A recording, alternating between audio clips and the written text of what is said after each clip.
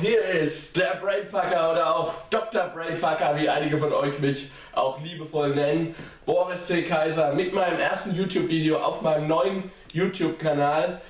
Und unser Thema heute ist der Islam. Alle sprechen ja momentan über den Islam, alle diskutieren, ist der Islam gut, ist der Islam böse, ist der Islam für Terror verantwortlich oder ist er vielleicht eine Religion wie jede andere auch? Und ich habe mir gedacht, vielleicht hilft es ja, ähm, wenn wir mal schauen, was haben berühmte Persönlichkeiten der Geschichte zum Islam gesagt. Und deswegen gucken wir uns das heute mal ein bisschen an, so ein paar Zitate von berühmten historischen Persönlichkeiten. Und wir fangen an mit Arthur Schopenhauer. Ähm, der hat über den Islam gesagt, beziehungsweise über den Koran, ich zitiere, dieses schlechte Buch war hinreichend, eine Weltreligion zu begründen. Das metaphysische Bedürfnis zahlloser Millionen Menschen seit 1200 Jahren zu befriedigen, die Grundlage ihrer Moral und einer bedeutenden Verachtung des Todes zu werden, wie auch sie zu blutigen Kriegen und den ausgedehntesten Eroberungen zu begeistern. Wir finden in ihm die traurigste und erbärmlichste Gestalt des Theismus. Viel mag durch die Übersetzung verloren gehen, aber ich habe keinen einzigen wertvollen Gedanken darin entdecken können. Das war Arthur Schopenhauer und ähm, Winston Churchill hat zum Islam gesagt, nebst, nebst dem fanatischen Wahnsinn, der in einem Menschen so gefährlich ist, wie die Wasserscheuheit in einem Hund, ist die beängstigende fatalistische Gleichgültigkeit. Die Auswirkungen sind in vielen Ländern offensichtlich. Leichtsinnige Gewohnheiten, schlampige Ackerbaumethoden, schwerfällige Wirtschaftsgebräuche und Unsicherheit des Eigentums herrschen überall da, wo die Nachfolger des Propheten regieren oder leben. Eine erniedrigende Sinnlichkeit beraubt dieses Leben von seiner Würde und seiner Verbesserung, das nächste von seiner Ehre und Heiligkeit. Die Tatsache, dass nach mohammedanischem Gesetz jede Frau einem Mann als ein absoluter Besitz gehören muss, sei es als Kind, als Ehefrau oder als Geliebte, schiebt die endgültige Ausrottung der Sklaverei zwingend hinaus. Bis, bis der islamische Glaube aufgehört hat, eine wichtige Macht innerhalb der Menschheit zu sein. Einzelne Muslime mögen großartige Qualitäten haben, aber der Einfluss der Religion lähmt die gesellschaftliche Entwicklung derer, die ihr nachfolgen.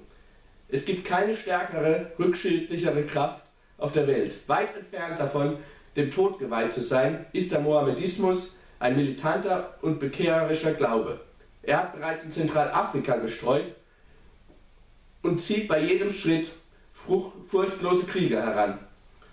Und wäre nicht das Christentum in den starken Armen der Wissenschaft geboren, der Wissenschaft, gegen die der Islam vergeblich gekämpft hat, würde die Zivilisation des modernen Europas vielleicht fallen, so wie die Zivilisation des alten Roms gefallen ist. Das hat Churchill zum Islam gesagt und ich frage mich gerade, was wohl Chamberlain so über den Islam gedacht hätte. Aber man weiß es nicht. Was man weiß ist, was Atatürk über den Islam gedacht hat. Er sagte, die absurde Theologie eines unmoralischen Beduinen ist ein verrotteter Leichnam. Das sieht sein Nachfolger ähm, Erdogan heute leider ein bisschen anders. Der hat ja den verrotteten Leichnam wieder zum Leben erweckt und er spukt heute fröhlich durch die moderne Türkei. Jetzt werdet ihr vielleicht schon fragen, ja Mai, gab es denn überhaupt keinen, der auch mal was Positives über den Islam gesagt hat? Haben alle in der Geschichte nur schlecht über den Islam geredet? Gab es keinen, der den Islam gut fand? Natürlich gab es den. Adolf Hitler hat über den Islam gesagt, haben wir schon die jüdische Welt auf uns genommen. Das Christentum ist so etwas Fades. So hätten wir viel eher noch den Mohammedismus übernommen. Diese Lehre der Belohnung des Heldentums, der Kämpfer allein hat den siebten Himmel. Die Germanen hätten die Welt damit erobert. Nur durch das Christentum sind wir davon abgehalten worden. Übrigens, das kann ich euch auch mal zeigen. Ähm, Hitler war auch ganz dicke mit dem Großmufti von Jerusalem. Das habe ich hier drauf. Ähm, Moment. Wir mal zeigen. Kann man das erkennen? Easy E an der Cam. Kann man das erkennen? Gib mir einen Daumen hoch, wenn ja. Okay. Ähm, ja, wie gesagt, die beiden waren ganz dicke. Ähm, äh, der Hitler war ein gern gesehener Gast beim Großmufti von Jerusalem und der Großmufti und seine arabischen Spießgesellen waren auch immer sehr gut darüber informiert, wie die Judenausrottung gerade so in Europa vonstatten geht und auf welchem Stand die ist.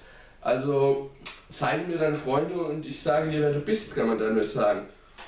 Übrigens auch Heinrich Himmler war ein Islam-Fanboy sozusagen. Ähm, er hat gesagt, äh, ich muss sagen, ich habe gegen, das, gegen den Islam rein gar nichts.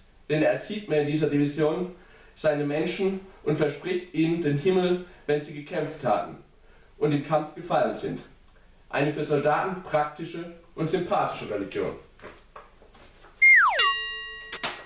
Der Holocaust-Überlebende Ralf Giordano hat über den Islam gesagt, ich frage mich, wie jemand, dem der Koran, diese Stiftungsurkunde einer archaischen Hirtenkultur heilig ist, auf dem Boden des Grundgesetzes stehen kann. Das eine schließt das andere aus. Und äh, er hat übrigens auch gesagt, er versteht nicht, warum wir Deutschen es uns gefallen lassen, dass jeder, der den Islam kritisiert, gleich in die faschistische Ecke gestellt wird. Und der Mann weiß wirklich, wovon er spricht, wenn er von Faschismus spricht.